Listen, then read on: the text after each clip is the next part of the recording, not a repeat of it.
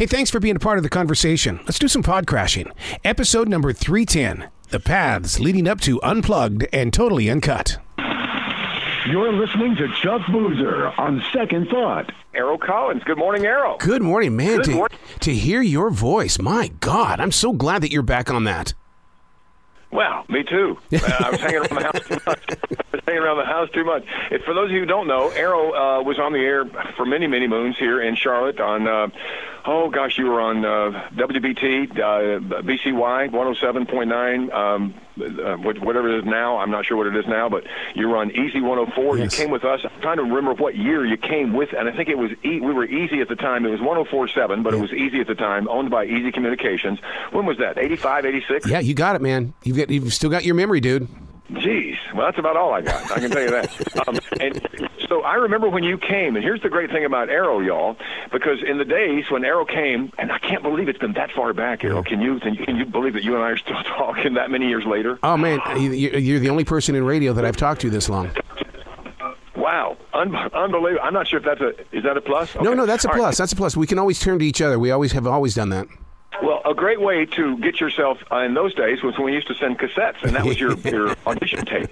Yeah. And so, um, Arroe knows where I'm going with this. Um, people would try to get noticed because cassettes would come in, and we'd use them to air check stuff. And you could sit with a PD somewhere, and he'd go through the air check session, and you'd hear about, you know, if, if you got checks, air checks from all over. If this was a job somebody wanted, you'd have 50 air check tapes, and they were some of the good ones and some of the bad ones. And uh, you'd have about 15 seconds, boom, it'd be gone. That'd be somebody's air check tape. Boom, there's another one, somebody's air check tape. And Arroe's air check and resume came in a bounce box. Yes. And we we knew this was about an unsealed bounce box, and we knew that there was a resume and a tape in there. And we looked at this thing, and I mean we, the staff, all the air guys, because we were like, wow, okay, you've got somebody's attention, you know. Um, and we wondered, this is completely sealed up. How did he open this and then seal it back to make it look like that? So you want to tell the story on that, Arroe? Yeah, what happened was I was I remember being up at uh, the library in Billings, Montana, and we came across the call letters of the station, and I and I kept saying, "Man, this is just rolling off my tongue so very easily." Easy 104 FM, and so and and Brian was with me at the time. He was almost like a producer when I was on Cook, and and the thing is, is that he says just send him an air check, but you've got to be different because Brian was from Philadelphia, and he says the only way you're going to get attention is you got to be different. So what I did was I took the bounce box and I very carefully opened it up, but I resealed it with super glue so that you couldn't tell that it was uh, that it had been opened up. And and the goal was to take the static out of any problems of finding somebody to do seven to midnight radio. And obviously, it must have worked. Well, it did work. We uh, we decided to hire you. I say we. I wasn't, uh, but we all said, "Man, this is creative," and we thought somebody that's that creative is probably going to be creative on the air. And you worked. I think you started doing nights for us, didn't you? Immediately, yeah, seven to midnight. But but the goal was to make sure that we did nights in, in a very different way. And thank you know thanks to Bill Conway, he understood that I, I love doing specialty programming, so he gave me that that task of putting ten at ten together, and, and that that started everything. Yes. So uh, in the day, also, I don't. I was there about eight and a half years. I think at Easy Communications, it became K, it became Star, it became Mix uh, during those times. Uh, it changed same frequency, but, but it changed the moniker and stuff. And you uh, did several things. I remember you were also at one time, and people say, "Really?" But you were. Well, let's bring him in to talk about it. Uh, have you got a second, Casey? Sure. Uh, as a matter of fact, I, I do, Chuck. As a matter of fact, uh, as one time I was going to step down from the big, you know, uh, big voice in the sky, the countdown man, and I decided I needed a replacement. And Arroe Collins was number two on the list. Arroe, what was the story? I mean, what, what happened? You actually tried out, and you were like top two or three, weren't you, to replace Casey Kasem? Absolutely, I, I beat out Donny Osmond, and uh, so but but Sha- Shadoe Stevens got it. But hindsight, though, I totally understand, and and I've learned through the through the ranks of Ryan Seacrest that you can't go to Los Angeles as a nobody. You've got to go out there as somebody, and and so I, I learned from that. I mean, I was just some twenty five year old kid from from Charlotte, North Carolina, that was trying for this big job. But it's something that I've been doing my entire life, specialty programming such as countdowns, and so it, it just felt really fun to be able to have that opportunity. So it says these days when we Wikipedia you that you're an influencer, uh, movies, books, television, podcasting, uh, mobile DJ. I know you did LA Productions. Uh, I guess I've known you and you and Lee, your bride, there for Lord knows how many years. We lived on the same street uh, in uh, in South Charlotte for years, and I told people that we borrowed rakes and you know uh, things from each other. Uh, so. When did when did you leave? Uh, when did you leave the on-air radio world and get into? I guess you're doing um, podcasts and things Yeah. these days and interviews. You're still in. You're still in the media. Yeah, what happened was is that in 2011 I saw a television commercial for for Chevy that said that Wi-Fi was going to be in cars, and that that was a wake up call for me. And I looked at my wife and I said, I've got to be in that car because I think that's where people are going. And so then what happened was is that while being a production director for iHeartRadio, uh, I was I was putting together all of my podcasts because I wanted to be you know the, in in this this Wi-Fi world inside people's cars. And then and I remember them looking at me going, "What are you doing again?"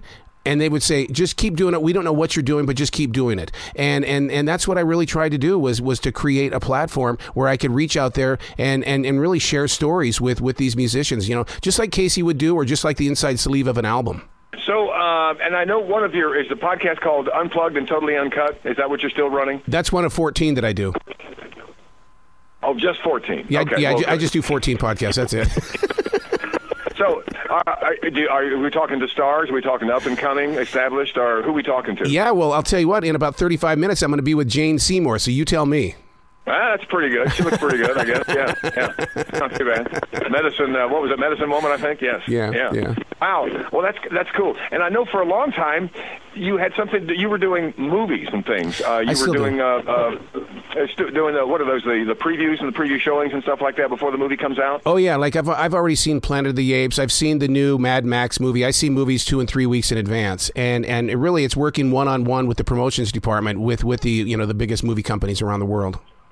So uh, when when did you leave? You were on the air doing a regular show, what at uh, at, at uh, uh, WBT or uh, BCY, and and when did you leave the broadcast air and then really started started things up? So that, that was in that was in 2016. It was shortly after my father's passing, and I really felt like that my father was the one that pushed me out the door. He says you need to get on with your life and do something, make a difference. And I thought that this new frontier called podcasting was going to be that frontier.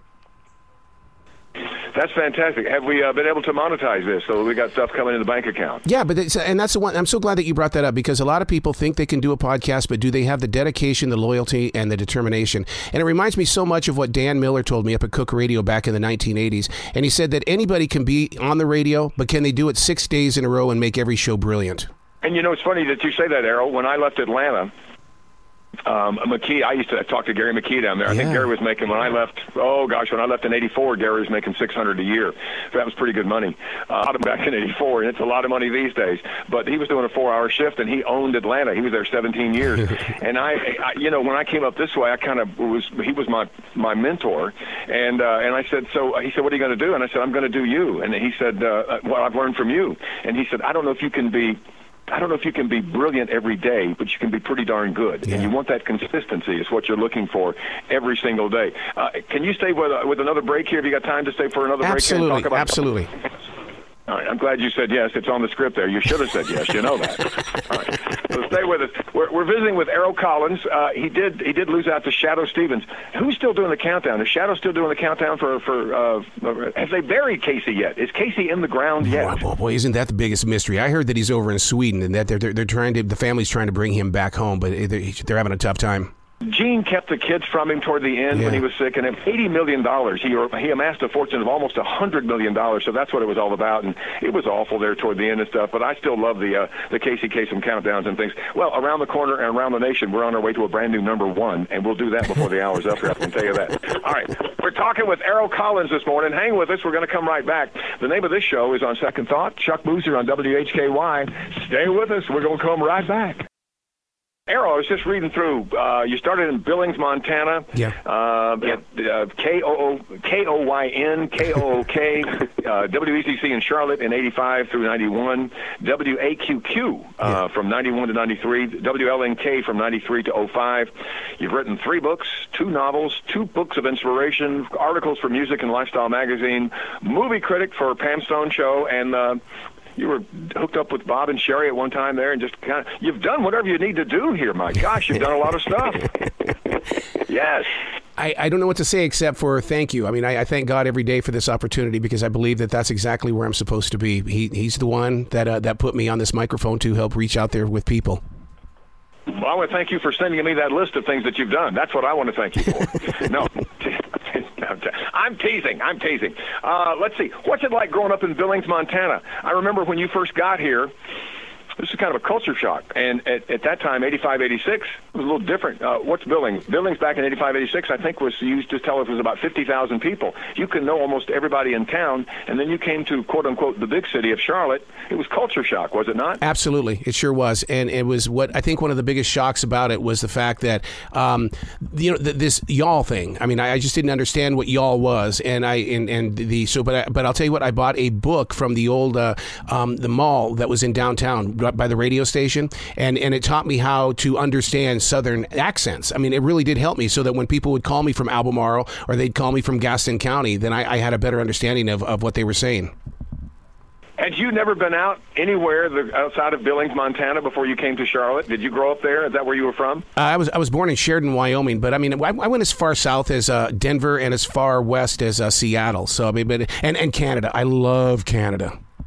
Yeah, but you came from an area where it's kind of sparse up there. Uh, it's, kind of, it's kind of sparse in between cities and people and cows and everything else. I mean, it's just like open territory. That's a lot up there. That's a lot. Was that a real culture shock coming here? And and uh, Charlotte was only up and up and coming back in the '80s. Then we just got in the bus mall. Yeah, you know, yeah. Big, yeah, it was it was a culture shock only because I my entire life I knew that I didn't belong in Billings. I, I knew that I was going to be somewhere else, and and so I prepared myself for that all the way through my, my education. Is that it, I knew I was going to be in radio. I knew that radio was not going to keep me in Billings. I wanted out of there as quickly as possible. So I mean, I think that's the reason why I got married at the age of eighteen, so I could get on with my life and, and get out of Montana. Yeah, yeah. Well, uh, and uh, still married to Lee. Yeah. How many years? Thirty-two years. 32 years. Congratulations. Thank wow. you. And uh, yeah, I'm sure she's uh, she's in line with my wife to get those medals because everybody goes, "Here's the medal for being with you." Yes, I've heard that a couple of times. Yes. so, uh, what all are you doing these days? Are you still working for Harris Teeter? Yes, I love it. Mean, Chuck, I'll tell you what. What I love about that is the fact that I get to see real people. In radio, we envision people, and so when I when I was there at the register for the very first time, I just couldn't believe the sh- the shock. I mean, you talk about a culture shock. I was with real people. Yeah, I, I know exactly what you mean. I can tell that you love that too because I've talked to you many times. All right, listen, I know you've got another call coming up, so we're going to cut you cut you off here and, and, and let you go because I know you got another interview to do. But I'm going to have everybody on the station here that I've ever worked with, just about, uh, in all these years because there's so many great people like you. We've had Jim Schaefer on. I want to get the Eggman on. I want to get Liz on. I wow. want to get. Uh, Bobby Lane and all these people. Boomer's still around there. Yeah, he so is. all we we grew up with that are part of at least were part of my life and part of my pages in my life. Uh, and I'm just I'm so proud to call you a friend still, Arroe. Mm. You're one of the you're one of the nicest people I know. You're one of the best people I know, and I'm I'm really proud. I mean that. And you're such a good radio dog, and I mean that with all all the respect. You know, you you just still love radio and stuff. So really appreciate you coming and talking with us for a little while this morning. Thank you. You got to come onto my podcast, okay, so I can ask you questions next time. An open book. That's no problem. We'd be happy to. My right, people, my call your people, which means I'll call you. Of course, you know what that means. Yes. Well, you be All right. brilliant today, okay? I'll try my best. Thanks, Arroe.